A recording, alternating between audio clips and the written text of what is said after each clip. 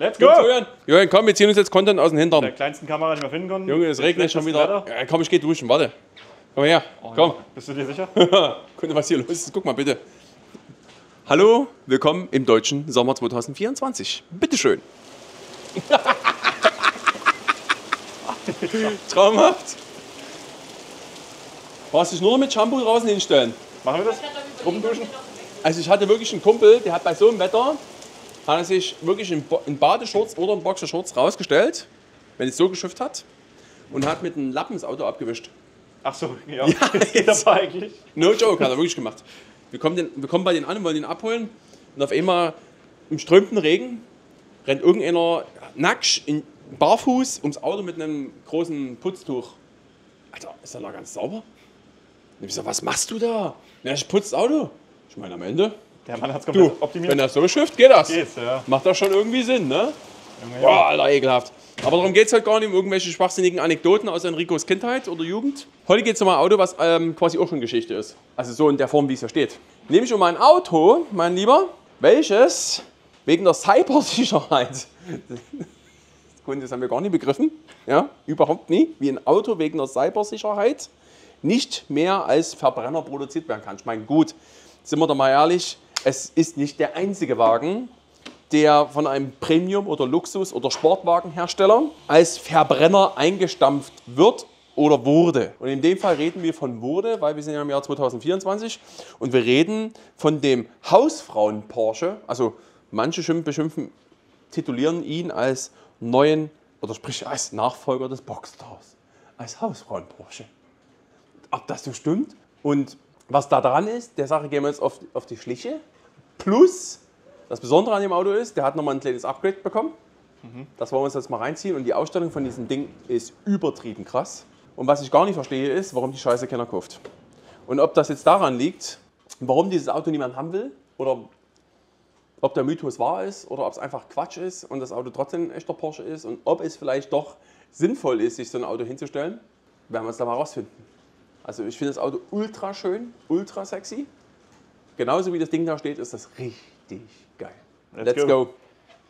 Let's go to the car. Let's go to the motherfucker. Was haben wir hier? Wir haben hier einen 3,6 Liter 6-Zylinder B-Turbo. Oh, guck dir das mal an, das habe ich noch gar nicht gesehen. Der Spiegelfuß ist ja mal sexy, oder? Triangle. Triangle. Jawohl. Ding, ding, ding, ding, ding. Geht. Ja, da kannst du hier mit den Hunis drin rumkloppen, wenn du tanken gehst. Ach so. Ja, ja. So, Alter. Der Monsun. durch den Monsun, hinter die Welt, bis kein Regen mehr fällt. Oder irgendwie so ging das vor, oder? Ja. So, lange Rede, gar keinen Sinn. Ich wollte das, bin ganz ehrlich jetzt, ne? Ich bin so ein Auto von dem Baumuster, doch, bin ich schon mal gefahren. Da war der Allrad kaputte. Ah, kaputte, ja, hatten wir schon mal. Ja. Wir hatten schon mal einen Macan Turbo. Und der war in Handumdrehen verkauft, außen weiß, rotes Leder, inne. Und warum den jetzt hier keiner kauft, weiß ich nicht. Wohl beide andere fast genauso viel kamen. Junge. Oh. Hagel, Oh ne. ruf schon mal die Versicherung an. Hamid, trotzdem los. Ja, oder? Wir gehen jetzt mal nach innen. Das ist ja der Baby Cayenne. Basis ist ja hier der Audi Q5. Wie könnte man es äh, äh, wie könnte man es anders erwarten? Oder man erwartet es ja auch nicht anders. Ja. Es ist ein modularer Baukasten. Das Ding wird übrigens, das ist eine Ostpacke, die Kiste. Wie so manch anderes Kraftfahrzeug aus dem Hause Zuffenhausen kommt. Der Rennwagen aus Lebtsch. Ich habe mal hier, genau, ich habe mal Sound aktiviert. Geiles Ding. Das Schöne ist, das Auto hat noch eine gewisse Würze. Es gibt ein paar Mangos an dem Ding. Das eine Mango ist, drei Besitzer. Wenn man jetzt mal, blenden das jetzt mal ein, wenn man sich jetzt mal den Brief anguckt, dann stellt man relativ fest, dass zwischen dem zweiten und dem dritten Besitzer das Kennzeichen gleich geblieben ist. Aber das Auto auf eine Firma umgemeldet wurde und die Adresse auch dieselbe ist. Aber von einer Privatperson zu einer Firma mit EK, also sprich eingetragener Kaufmann. Jetzt habe ich das mal recherchiert. Macht man das nicht eigentlich andersrum? Du, die Wege des Herrn sind manchmal unergründlich. Ja, also vermutlich ist das Ding sogar zweite Hand. Der hat mal einen Vorschaden gehabt. Der ist bei Porsche selber repariert worden. Für alle, die es noch nie wussten, der Porsche Verrechnungssatz ist relativ sportlich in Sachen Karosserie. Da sind 19.000 Euro brutto zusammengekommen. Was Das war ist- da? Weiß man das? Müssen wir, müssen wir blenden wir ein. Ja, okay. Ich kann es jetzt auch nicht genau sagen. ähm, auf jeden Fall will ich das jetzt nicht schönreden, aber das ist für, für so eine Reparatur dort bei den Jungs noch nicht mal so viel Geld. Das geht auch schlimmer. Ansonsten muss ich ehrlich sagen, das sind so die zwei Mankos meiner Meinung nach. Das Geilste an dem Auto ist einfach mal die Ausstattung und die Optik. Das Auto ist nämlich nochmal von TechArt getuned. Der hat ein zusätzliches Steuergerät drin. So kommt das Auto dann in Summe von 400 PS, also 400 PS glatt, auf 480 PS und von 550 Newtonmeter auf Newtonmeter sind wir unbekannt jetzt. Auf jeden Fall wahrscheinlich auf reichlich. Darüber hinaus gibt es noch ein paar schöne 21 Zoll TechArt-Räder in 11 x 21 auf der Hinterachse und ich glaube 9 x 21 oder 9,5 x 21 auf der Vorderachse. Und eine TechArt-Abgasanlage. Und ganz ehrlich, diese Ausstattung hier ist doch schon wieder völlig geisteskrank. Weil guck dir das mal bitte an, Kunde. Sport Chrono Paket, okay, schön. Lederpaket, auch schön. Das Lenkrad, muss ich ganz ehrlich sagen, ich meine, wir reden hier aus dem Auto aus Baujahr 2015 ist ja, glaube ich, ja, oder 14. Auch schon zehn Jahre alt, ne? Aber das sieht nie so aus. Ja, das stimmt. Das sieht nicht so aus. Das ist doch mal krass. Das Ding ist einfach quasi zehn Jahre knapp alt. Und das Lenkrad sieht aus wie aus. Das ist das Schöne am Porsche. Das Lenkrad sieht aus wie von zwei Jahre alt, die Kiste oder drei. Mhm. Ja, das stimmt. Das ist der Hammer, oder? Also auf den ersten Blick. Dann haben wir Sitzheizung, ist klar. Sitzklima, Ich finde das mal ein bisschen krass, ne? wie viel. das ist, Das ist schon heftig, ne? mega. Ich weiß gar nicht, ob man hier noch was belegen konnte. Ob hier noch was ging. Das könnt ihr gerne mal in die Kommentare schreiben, was noch so fehlt. Ansonsten hat das Ding Klaufix, der hat Totwinkel. Ich meine, der hatte auch ACC. Ähm, klappbare Spiegel, Panoramadach, alkantrierter Himmel, Kamera. Hat er auf jeden Fall, habe ich ja vorhin. Ja, habe ich jetzt einen Rückwärtsgang eigentlich drin? Ja. Warum haben wir Eigentlich da nichts? Ja, vorhin ging es noch. Oh, Gerade ging es noch. Achso, Jürgen. Hast du es kaputt gemacht? Ich weiß nicht. Vielleicht wegen Regen. Wo? Guck mal hier, Aux. Augs geht auch. Ja, vorgestern, hallo, wie alt soll es sein? ähm, ja, Klaufix hat das Ding am Start, dann Big Xenon-Licht mit Kurvenlicht und den ganzen anderen äh, Kladderadatschen Burmester Soundsystem, was echt auch wirklich nicht schlecht ist und gut Musik macht. Sitzklima hat ja schon gesagt, die habe ich jetzt direkt mal aktiviert. Und äh, ich glaube, dass hier gut einer zu Hause ist. Ich denke auch. Also ich finde die Konfiguration sehr, sehr schön. Ne? Ja, mit Carbon auch, ne? Hast ist schon echt die roten Gurte, rote Rote, rote, genau. Ja. Ist einfach nice. Mit Rotpaket quasi. Mit Rotpaket, ja. Und das Panoramadach? Ja, geht sogar noch weiter auf. Ja, Baby. Aha! Ist ja richtig Licht drin, mein Lieber. Jetzt fahren wir mal eine Runde. Ich bin so gespannt. Das Einzige, was ich ein bisschen oldschool finde, ist der Wählhebel für die Gänge. Der Knüppel. Ja, elektrische Memory Hocker haben wir natürlich auch noch mit am Start. Aber ich finde den Knüppel besser als diese Mikropimmel, die es jetzt gibt. Diese Mikropimmel, Ja. ah, finde ich schon auch nicht schlecht. Wenn das hier so alles flächig drin ist, ist das schon auch ein bisschen sexy. Findest du nicht? Ja, ich finde so einen Knüppel schon immer noch geil. Ja, du findest die Knüppel geil. Ich weiß schon. Das, klingt immer ein bisschen komisch, wenn du das so betonst. Wenn du die Knüppel geil findest. Ja, das ist hier Das ist so hier ein einfach nur eine 12-Volt-Dose. Achso, Keramikbremse haben wir übrigens auch. Die habe ich vergessen zu erwähnen. Keine Ahnung, wer das heute noch braucht. Döschen. Kann man, aber ich glaube, sowas kannst du heute mittlerweile relativ entspannt umfummeln auf USB. Ja. Kunde. Kunde, der Kunde ist da. Ist die. Ja, Tipo, mitgenommen. genau. To go. Ah, hier, da geht's ja doch. Mensch. Ja, ne, siehst du 360 Grad sogar. Aber das ist eigentlich das Geist hier an unserem Hof. Der säuft dann nämlich bei so Starkregen, Immer. säuft er nämlich auch komplett ab. Kann man schön die Autos hier waschen, Das- wenn man hier ja. durchfährt. Das geht eigentlich. Ja, ist auch Ach, ist aber komplett abgesoffen, ne? Ja. Geil. Geht. Gleis 17, alles zusteigen. So, komm, genug rumgeblödelt. Das ist sogar Tja. Güterzug, hallo. Das ist halt so, ne? Keramische Bremsen, mein Lieber, die machen dann eben bei solchen Temperaturen solche Geräusche. Das, wenn das jetzt massiv stört, ne? weißt du, was du da machen kannst? Du baust das Ding aus, haust irgendwie für, keine Ahnung, wie viel Tausende, x Tausende Euros ins Netz und besorgst dir, besorgst dir einfach eine Stahlbremse und dann ist Frieden am Zaun. Und ich könnte mir sogar vorstellen, dass die SQ5-Bremse hier einfach mal eins zu eins reinpasst. Das könnte sein, ne? Das würde Ja. mich mal gar nicht wundern. Achso, Ja, also, so ist das. Achtung.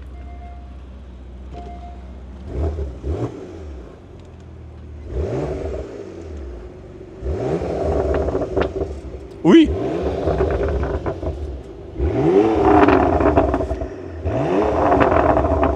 Ja, das geht, ne? Das muss ich ganz ehrlich sagen. Vom Fahren her, äh, ganz ehrlich, jetzt können wir uns jetzt bitte einfach noch mal ganz kurz dieses Auto anschauen.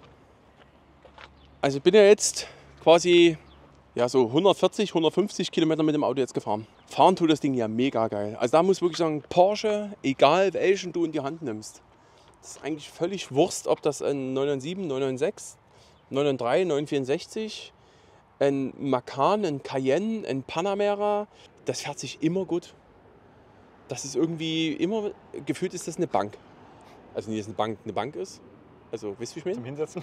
Also nie die Bank zum Hinsetzen und auch nie die Bank, wo man sich darauf verlassen kann, sondern das ist umgangssprachlich, sagt man ja, das Ding ist eine Bank. Aber wo man, ich der Meinung bin, dass bei der Bank auch nicht sicher ist. Ja, das stimmt. Wie kommt man es denn? Das ist quasi in Granit gemeißelt. Ja, dass das Auto, dass die Autos eigentlich nie eine Enttäuschung sind. Außer du bist nie der Typ, der sagt, Porsche, hm, das, ich sage immer, es, es gibt immer die, die kaufen einen Porsche und fahren für immer Porsche. Und es gibt die, die haben zum ersten und zum letzten Mal einen Porsche besessen. Was anderes gibt es da nie. Aber wenn man jetzt so einen modernen, ich meine, das Auto ist relativ modern, 2014, 15, und du kannst davon ausgehen, dass die aktuellen Modellvarianten ja nicht schlechter geworden sind. Wobei der hier als aktuelles Modell 2024, was ist das wohl, Leute? Da kann ich dir schon mal sagen, dass das leider kein V6 Biturbo mit 3,6 Litern mehr ist.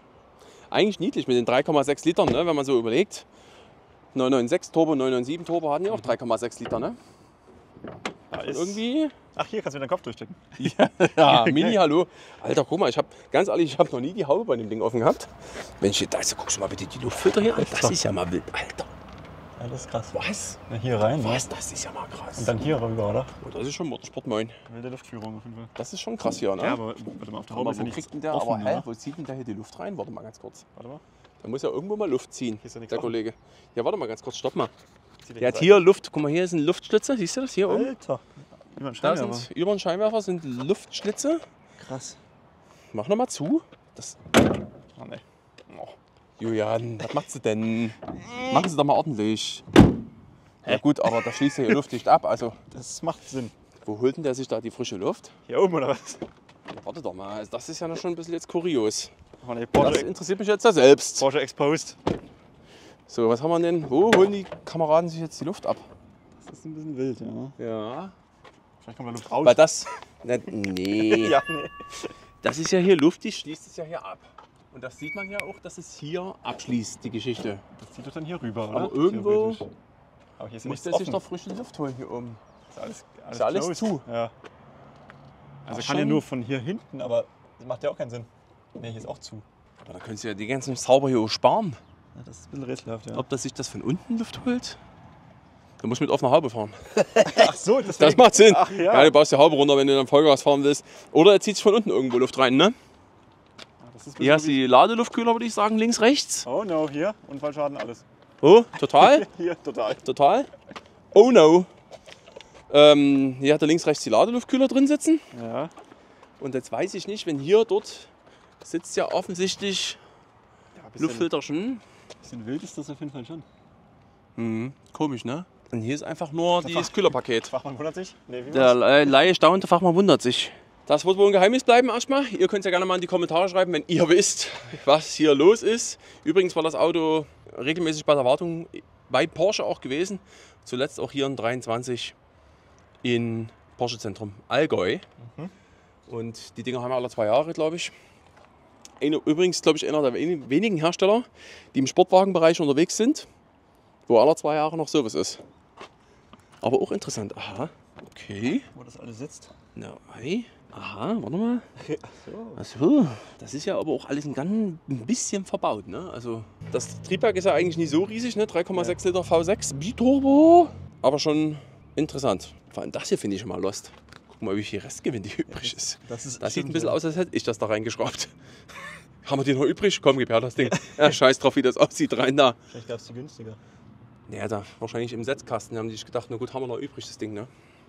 Ansonsten vom Fahren her muss ich wirklich sagen, Punch hat das Ding auf jeden Fall reichlich. Mit den 480 PS, also weiß ich jetzt, weiß ich nicht, ob das, ob das realistisch ist mit den 480 PS, kann schon sein. Übrigens die Steuerbox, die muss ja auch irgendwo verbaut sein, theoretisch. Ja.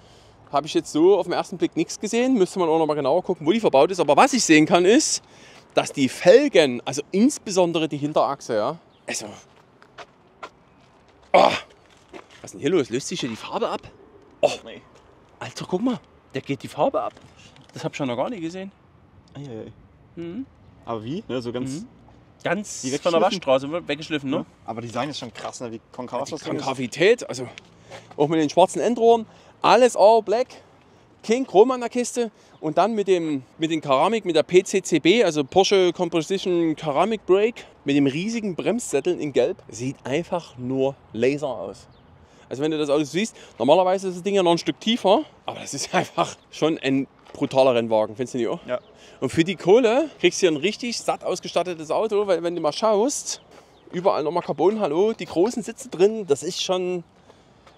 Also mit Hausfrauen Porsche hat das Ding nichts zu tun, ne? Gar nichts gemein. Ich fühle es komplett.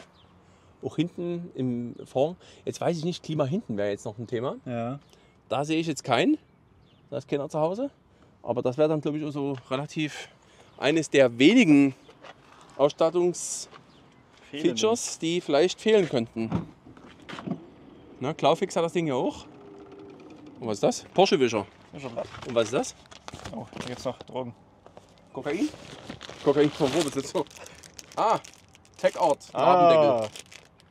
Die gibt auch noch, da fehlt auch schon ein bisschen Lack. Ah, jetzt ist Porsche drauf, ja, würde ich auch so lassen. Würde ich Ah, so lassen. Siehst du? Mhm. Sehr geiles Auto. Also vom Fahren her tipptopp.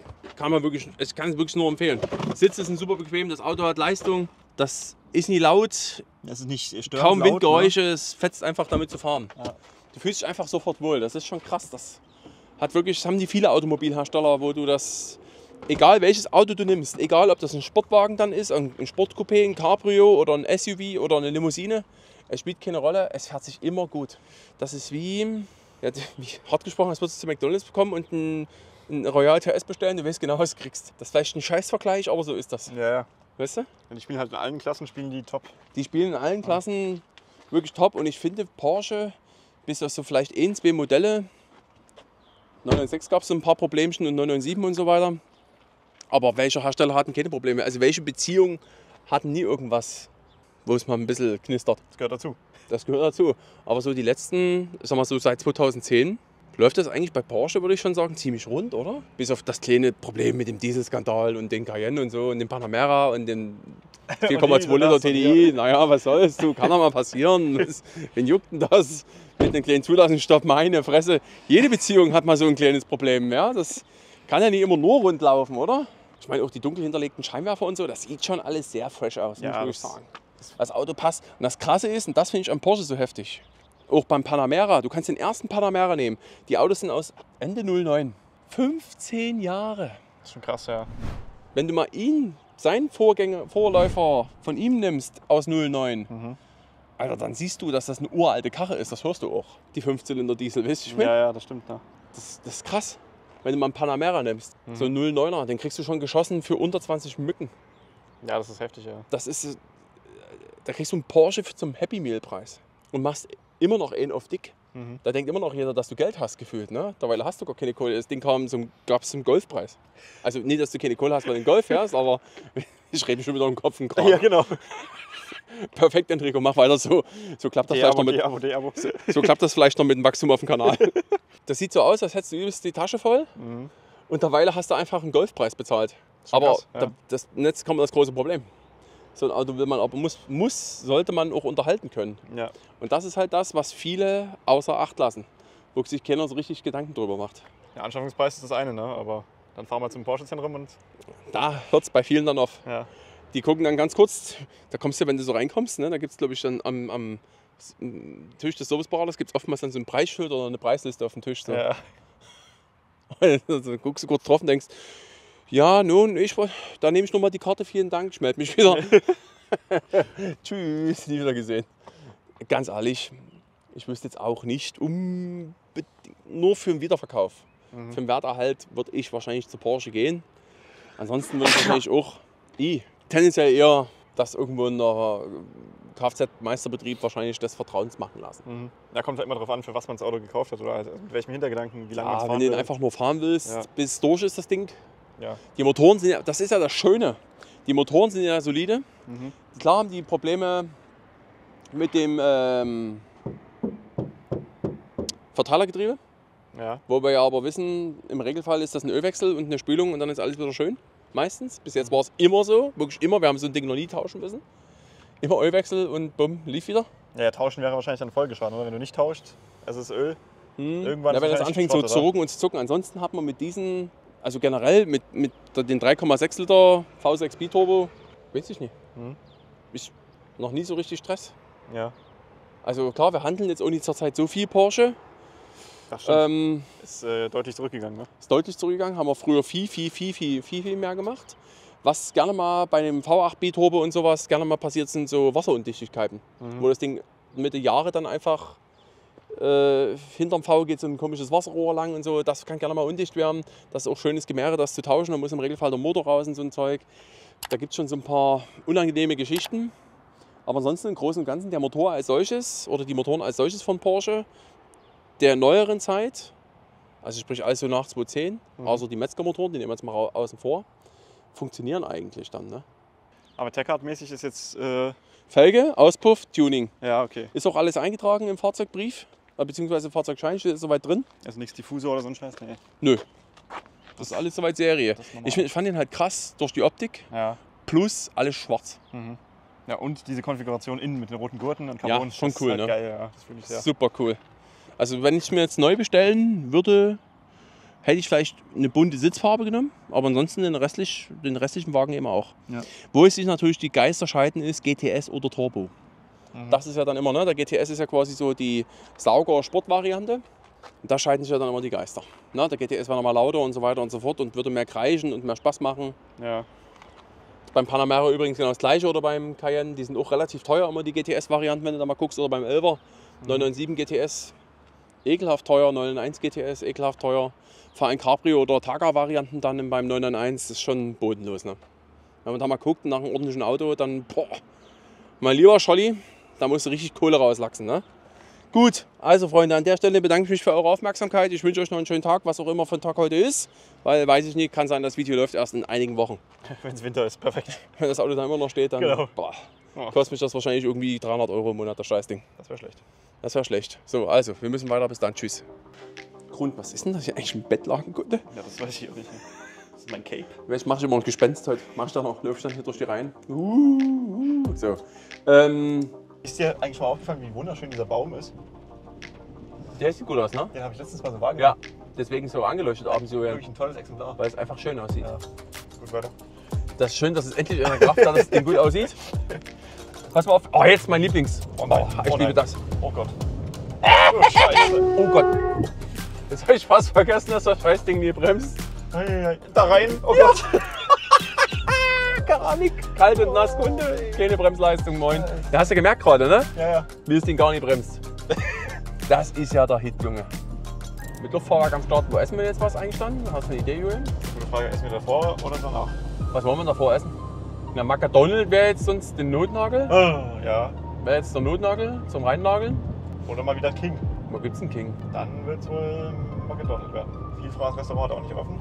Nee, Also wird es Maggis werden wahrscheinlich auch nicht. nervt mich. McDonald, äh, Burger, Döner ist mir jetzt, kannst du eigentlich ausmachen, eine Weile, oder?